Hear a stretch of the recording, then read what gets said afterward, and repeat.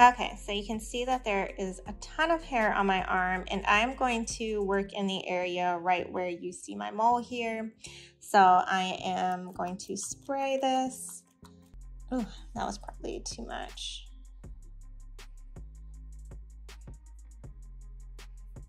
All right, it's on here. Let's get this timer started.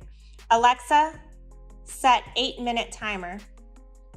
All right, so it has been eight minutes now. So I'm going to test a, just wipe. Oh my God, can you see how much hair just came off? This actually really works. So I am now going to just rub all of it off. Oh my gosh, this is amazing.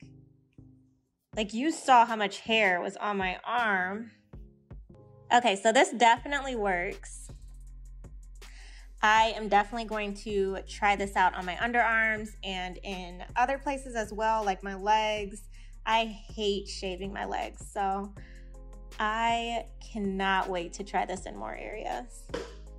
So I was very, very surprised and pleased when they said that they do value and use natural ingredients. Um, my skin definitely does feel soothing or soothed.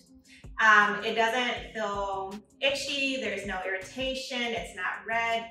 So I can definitely say that it worked well and it... Okay, so now I'm going to try out the hair inhibitor cream.